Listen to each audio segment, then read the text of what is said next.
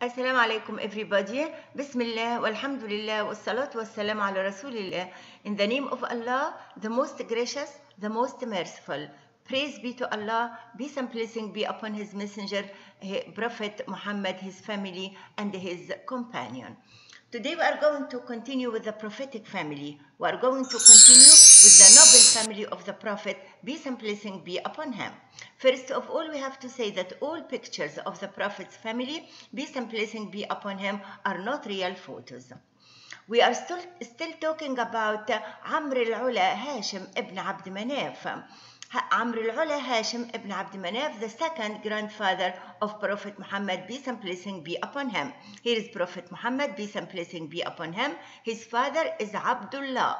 His grandfather is Abdul Muttalib. And his second grandfather is Hashim, And his third grandfather is Abd Manaf. His fourth grandfather is Qusay ibn Kilab ibn Murrah, who is an Ishmaelite descendant of Prophet Abraham, peace and blessing be upon them. Uh, so we talked about Qusay ibn Kilab in detail and we talked about Abd Manaf ibn Qusay ibn Kilab and we are still talking about Hashim ibn Abd Manaf, the progenitor of the ruling Banu Hashim clan of Quraysh tribe in Mecca and the leader of Mecca, the leader of all tribes and the one who established and managed the Ilaf for, um, for uh, his um, tribe and for all the tribes of Mecca by his genius partnership with the tribes of Mecca. What also helped Hashim to maintain this partnership was that uh, he married several wives from many influential tribes. And this was a way, at that time, if you want to make a, a good relationship with a, a tribe, you can marry from this tribe. And at that time, marriage was not limited. This is before Islam. And uh, the Arabs used to have many wives. So Hashim married several wives of influential tribes. Amr al-Ula Hashim ibn Abd Manaf had five wives, five daughters, and four sons. So let's see Hashim's first three wives. Uh, his first three wives were, were, were uh, Qayla, Qayla uh, al-Khuzaiya, Qayla al-Khuzaiya from Bani Khuza'a and Hala or Hind al-Khazrajiyya and Umayma al-Quda'iyya. So let's go to Qayla, Qayla al-Khuzaiya. Qayla al-Khuzaiya, it, uh, her name is Qayla bint Amr ibn Malik uh, of the Banu Khuza'a. This is from the tribe of Banu Khuza'a, tribe of Khuza'a. And Qayla was his grandmother, uh, Hubba bint Hulayl's niece. You know Hubba. Hubba was the daughter of the king of Mecca. The king who, you know that uh, Khuza'a ruled Mecca for 300 years before the coming of Qusay ibn Kilab, who expelled them out uh, uh, and he uh, reconstructed the Kaaba, as we said, and he um, unified Quraysh and gave them places uh, in the uh, in Mecca. Uh, so uh, was his grandmother Hubba bint Hulayl's niece. Hubba was uh, the wife of Qusay ibn Kilab. So by Qayla he had a son Asad who is Ali's maternal grandfather. We talked about Asad in the previous video. Uh, so by Qayla, he had a son, Asad, uh, who is Ali, Ali. Asad is Ali ibn Abi Talib, maternal grandfather. Hala or Hind al-Khazrajiyya, his second wife. Hala or Hind uh, bint Amr ibn Tha'laba from al-Khazraj. By Hala, he had son Abu Saifi and daughter Jannah. So he has son called Abu Saifi, and he has the daughter Jannah. And he also married Umayma al-Quda'iyya from Qudaa. You know, you know the tribe of Qudaa. We talked about the tribe of Qudaa in the video of Qusay ibn Kilab. Uh, so Umayma, it is uh, Umayma bint Adi uh, ibn Abdullah from Banu Qudaa. By Umayma, he had the son Nadla and daughter Ashifa. So from Umayma, he had a son called Nadla and a daughter called Ashifa. So Hashim's fourth wife. Hashim's fourth wife was his father's widow, Waqida bint Amr Abu uh, Uday Al Mazniya. Uh, this is the mother of his half brother Naufal.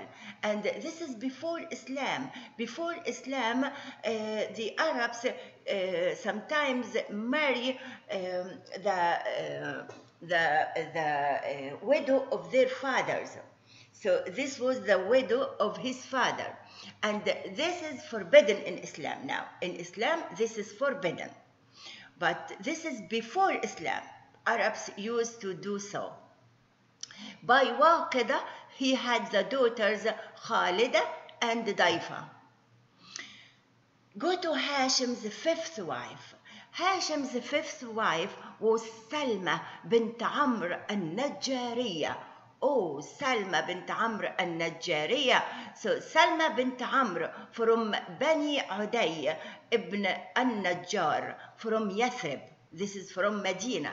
From it was called Yathrib. One of the most influential women of the Banu uh, Khazraj tribe. So this is from Medina. Medina was called Yathrib before the coming of the Prophet, peace and blessing be upon him. And this was one of the most influential women of the Banu Khazraj tribe.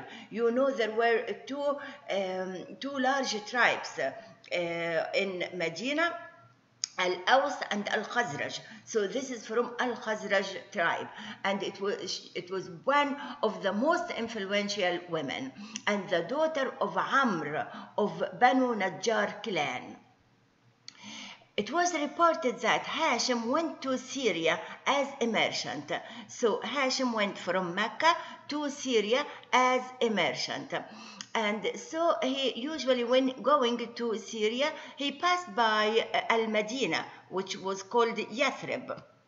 So uh, in that day in Al Medina, when he reached Al Medina, there was a very, very big market a very big market in Al Medina in this day. And his attention was caught by Salma jovial and authoritative manner of trading. She was very beautiful and a very respected lady, businesswoman. This, she, she was businesswoman. She was very respected, very authoritative. She has very authoritative manner of trading. He began to make tactful inquiries about her.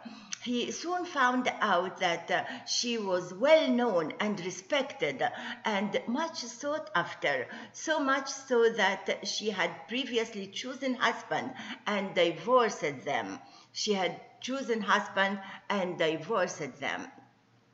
And she doesn't want to marry until she meets a man who is equal to her. He saw her, he said, Oh, this is very beautiful, very respected businesswoman, very, very respected lady, and uh, with very authoritative manner of trading. He asked his people, Who is this lady? Who is her husband? They said he, she has no husband and she doesn't even want to marry because she doesn't find a man who is equal to her.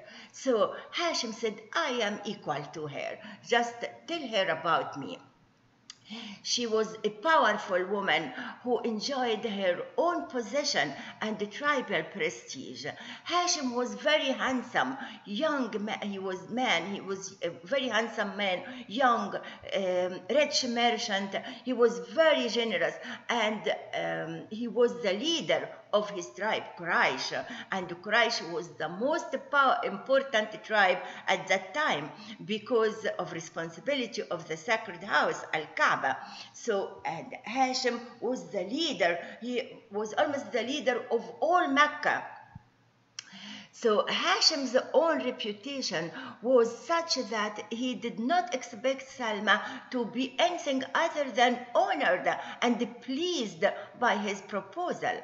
However, he soon discovered to his chagrin that although she was certainly prepared to consider him, she would only marry him on her own terms. So, what her own terms? First, number one, 1,000 camel. She has to take 1,000 camel. Number two, to let her remain in her own home in Yathrib, not going with him to Mecca to join his household. Number three, to let her control her own affairs and business entirely on her own as she was used to. Hashim accepted and the wedding took place with the arrangement that both of them should continue to conduct their lives as before, but, but Hashim would visit and stay in her house whenever he came to Yathrib. The arrangement suited both of them. So he married her in Yathrib, then he left for Syria again while she was pregnant. So go to Shaiba Abdul, or Abdul Muttalib. Later, Salma gave birth to a boy and she named him Shaiba for the white hair in his head. You know, when, the, when someone had white hair in his head, they called him in Arabic Shaib. Shaib means uh, old man. So uh, that boy uh, had some white hair in uh, his head, so she called him Shaiba. She brought him up in her father's house in Medina or in Yathrib. Uh, none of Hashim's family in Mecca learned of his birth. Hashim died after falling ill on a journey returning from Syria in Gaza, Palestine in 497. He died, he was so young, about 32 or 33 years age. Hashim's tomb is located beneath the dome of Sayyid al-Hashim Mosque in Ad-Darraj neighborhood of Gaza, which is named in his honor, Gazat Hashim. It was called in his honor, Gazat Hashim. The mosque itself was built around the 12th century. Al-Muttalib or Al-Muttalib ibn Abd Manaf, after the death of Hashim ibn Abd Manaf, the charge of pilgrims Sikaya and Rifada went to his brother Muttalib or Al-Muttalib ibn Abd Manaf. He was honorable, honest, trustworthy, very respected, and very generous. Al-Muttalib ibn Abd Manaf. His people loved him, obeyed him, and they called him Al-Fayyad because of his generosity. Someone told Al-Muttalib about Hashim's son. Someone told him, uh, told Al-Muttalib uh, that Hashim has a son in Yathrib. So uh, Al-Muttalib was very surprised and was so happy. And so he went to Yathrib to fetch him. Shaiba was playing archery with his friends. And whenever he won, he said, Why not? Am I not the son of Hashim ibn Abd Manaf? So when Al-Muttalib saw him, tears filled his ears, his, uh, his eyes, sorry. Uh, tears filled, filled his eyes and rolled down his cheeks, and he embraced him and said to him, I am the brother of your father who died before your birth and whom you are proud of and I have come to take you uh, with me to live with your people in Mecca. So when Salma knew about Al-Muttalib coming, she received him in her, in her house for three days.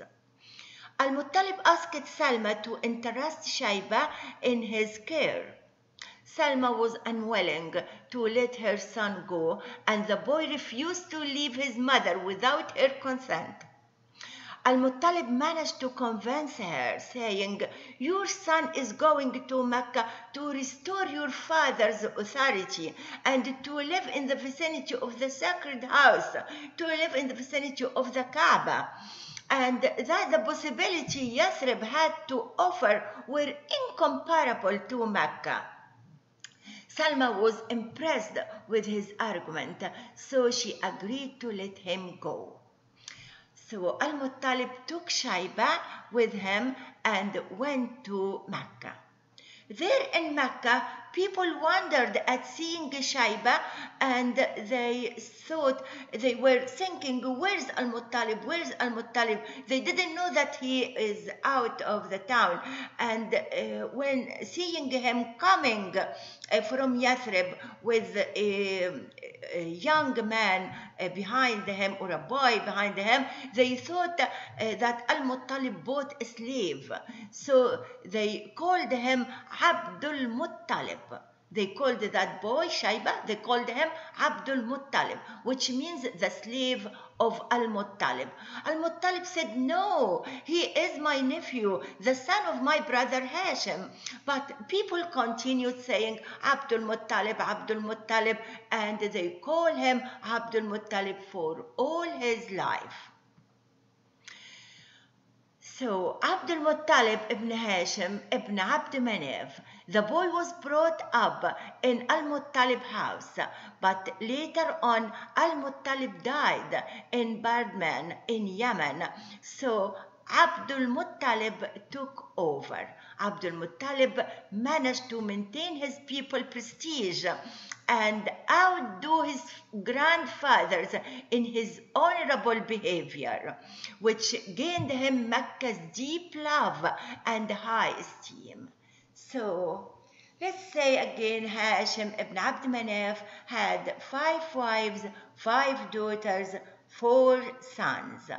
By Salma, he had Abdul Muttalib, who is the grandfather of Prophet Muhammad, peace and blessing be upon him, and a daughter, Ruqayya. So Hashim ibn Abd Manaf had four sons, Asad, Abu Saifi, Nadla, and Abdul Muttalib. And he had five daughters, Ash-Shifa, Khalida, Daifa, Ruqayya, and Jannah. Thank you so much.